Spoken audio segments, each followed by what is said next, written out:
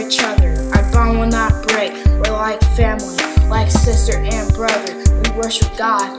We take communion.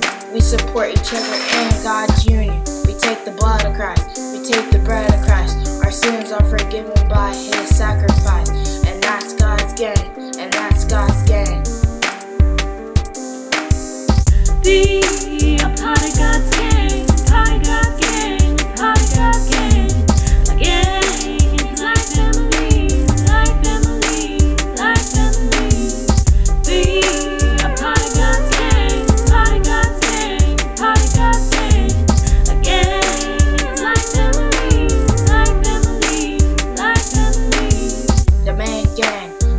to defend each other, always there to protect one another.